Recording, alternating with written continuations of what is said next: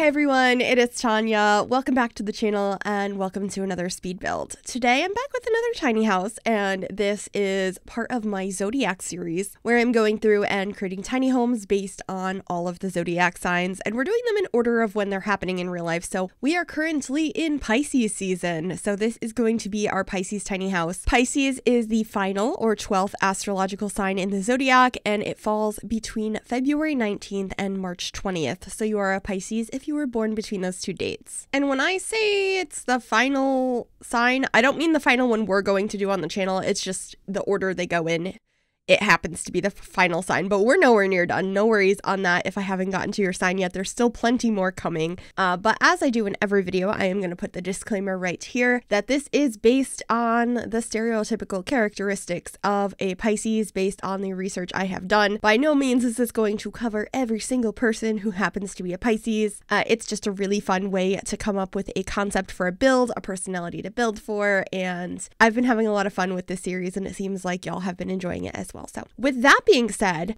I decided to build this over here in Brindleton Bay near the beach. My first thought was Sulani, but I thought it would be a little bit nicer to build here a little bit further away from the beach. It's literally right there, but instead of on top of the water, we're a little bit further away. And I did that because I really wanted to incorporate some more coastal vibes to this house, have it be a little bit more calming, and use a lot of blues and whites and greens. There were quite a few colors that I found when I was doing my research that were um, associated with this sign, but I also didn't really want to make it just boho and pastel. I wanted it to be a little bit more neutral in that regard. It ends up having a ton of blue in it, but I felt like that was just a little bit more versatile than like light pastel colors. So just trying to figure out the exterior of this build right now. The shape has pretty much come together and I knew I wanted to have this green or bluish roof and I remembered that these fences from the high school years debug catalog existed, and I just thought they looked so nice here. They're just so detailed and they felt kind of artistic, which was something I definitely wanted to represent in this build. That was something that kept coming up everywhere when I was looking at characteristics and personality and all of that of those who are Pisces. It kept mentioning creative, artistic, and like careers in the arts. So I definitely wanted to lean into that a little bit and I was imagining that the sim that lived here was an artist. You'll see I be will be placing a easel outside in a little bit. I also end up adding a guitar inside because that was another thing that came up with the creative aspect of these people or sims is that uh, a lot of Pisces tend to be quite musical. So I did include that and as you can see I'm trying to figure out the exterior on where I want the different rooms to be in regards to where the beach is. So I have this like big glass window, but I'm actually going to rotate the whole lot. So now that's not facing the beach anymore. But I feel like it's fine because it's still a really pretty, you know, view of like the trees and all of that. But I do add another room over on this side, which is going to be the bedroom that has a couple of big windows looking out at the beach. And they have their own like little private deck space that I'm going to put a few loungers on that do face the beach. I just thought it looked a little bit nicer in this orientation on the lot, and it's not something I've really done before. I always build this lot like the orientation it's supposed to be in. So uh, if you do want to grab this from the gallery, it's going to look sideways. Uh, because I technically placed it sideways on the lot, but I just I liked how it looked. You can let me know what you think. But if you would like to grab this lot, it is available on the Sims 4 gallery. You can find it under my EID, which is Gryphi, G R Y P H I. You can also find it under the hashtag Miss Gryphi, and that information will also be in the description down below as well. But anyway, now that, you know, the the bulk of the exterior is done, let's talk a little bit about Pisces. So they are compassionate and artistic, often deeply emotional and empathetic, and it's often said that they can be a little bit psychic. And the sign of Pisces, it's a water sign, like I mentioned, it is the last constellation of the zodiac, and it's symbolized by two fish that are swimming in opposite directions, which is super cute, but it's kind of supposed to represent a constant division of uh, Pisces' attention between like fantasy land and reality. And I think that works really well for an artistic sim because you're just always thinking all of these creative thoughts. I have been a art student all my whole life. I worked in graphic design and now I do this. And I think it's just a really creative career path. And I, I can relate to that, even though I'm not a Pisces. But it was really fun to kind of delve into that mindset to create this build. Um, I also read that Pisces are often very um, big animal lovers. So, in addition to this sim being by the beach, being artistic, I also made sure they had a dog, which I thought was really cute. And I used like a lot of more like ocean themed colors, if that makes sense, like blues, whites, beiges, and greens, which I had mentioned earlier. I have so much random information written down about Pisces. Not all of it is going to be super um, applicable to this build, but I did you know, dive into a couple of the things that inspired aspects of this build and some of the decisions that I did make. So, just a couple more things about Pisces. I think I'm going to read this like exactly as I found it online because I'm not exactly sure how to paraphrase this, but a mutable sign, Pisces effortlessly adapts to their surroundings. These visionary fish have unparalleled access to collective consciousness through their clairvoyance and make incredible artists and creatives. Kind and gentle, they're invigorated by shared experiences of music and romance.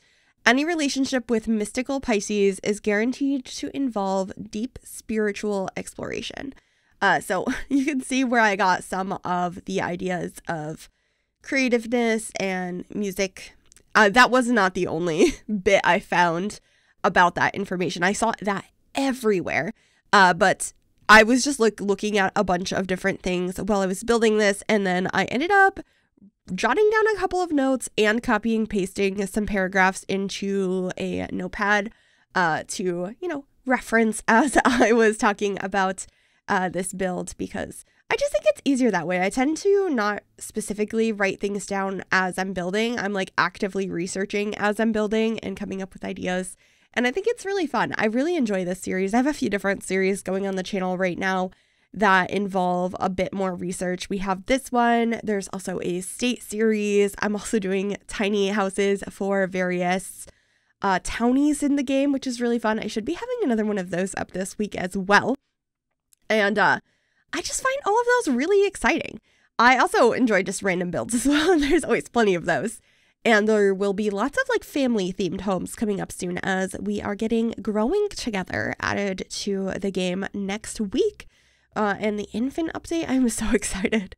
But anyway, you can see uh, the uh, colors in here are very simple. We only have a few different colors going on, and I adore the layout in here.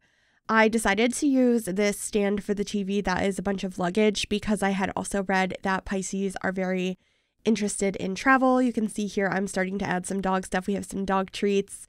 I added a calendar, adding a, a little dog bed as well, and we'll get some leashes by the door. I also popped in that guitar I had mentioned I was going to add, and we got some shoes and stuff over here as well. And uh, another nod to that love for travel, I put that world map over here. But uh, this is going to be the desk space. It's kind of a weird layout in here, but I really like it. There's like this little hallway where this desk is that leads you into the bedroom, which I think works really, really nicely. I also have a fish tank over here because, you know, Pisces, they're, they're symbolized by fish. So I thought I should have a fish tank. Although I feel like you should have a much bitter, bitter, bigger fish tank than that. Don't just have like a fish bowl. But um, that's what we had room for in here. And I did have a couple of comments being like, please include a fish tank. Uh, so I wanted to include that. Uh, but if you could find space, I would recommend the one from Cats and Dogs. It's like more of an aquarium. That is much better of a enclosure for a fish. And um, I don't know why I get so passionate about it in The Sims because they're not real. But I'm like, this is not proper pet care. Uh, and I, I do that a lot when it comes to different animals in The Sims for whatever reason. But anyway, uh, we are in the bedroom now, and I'm adding some more like maps and stuff to symbolize that love for travel. I also have a set of canvases that are drying next to the bed as like additional art storage. I just think it was so cool to try and combine all of these things into this space and have a few different interests involved. Uh, I feel like a lot of times when I'm reading about the zodiacs, a lot of them feel very similar, but I also at the same time feel like I'm getting very different builds out of all of these descriptions. Uh, so it has been really fun. And um, speaking of that, the next zodiac sign we are going to be tackling is Aries, which starts on March 21st. So if you yourself are an Aries or you know an Aries, uh, or just have any tips that you think are going to be fun things to include in that build, please do let me know. I'd love to read your suggestions. Uh, I always take that into account in addition to all of the research I do. Um, I uh, read all of the tips like, please do or don't include this. And, you know, I take it with a grain of salt, but I do get a lot of ideas from y'all as well. So if you have any Aries ideas, do let me know. But anyway, this is going to be the bathroom. It's pretty simple in here. Uh, nothing too exciting to talk about. It's pretty small. I kept the same color scheme going in here as well. I really wanted those coastal vibes, so I did use the sink from Cats and Dogs. I think it worked quite nicely. And I was talking about Aries at the moment, so I didn't I didn't mention it, but on the little porch outside, you probably saw I placed down a garage door, which is a little odd. But the reason I did that is I wanted a space for your Sims to be able to paint murals, uh, kind of diving more into that artistic side. But the wall murals that are not on a garage door are so much bigger. So the garage door was the best way to still include that in that space. So that's why I did that. But out here over on the side yard, I also added uh, the easel, some more like artsy stuff, a couple places to sit down. We also have a grill and a table and chairs. it's just like a cozy space. I also decided to add an aqua zip and a bike because, in addition to that desire for travel, I read a lot about desire for adventure. So I thought, you know, taking that out on the water would be really fun. And it just felt like it fit the personality I was trying to create for this house. I thought that that was a fun addition. And then we're just going to be finishing up landscaping here, adding some trees and bushes and stuff. I tried to incorporate plants that I saw around the world to try and make it blend in as best as possible right here over on the beach. Uh, but that is pretty much it. I really hope you enjoyed this build.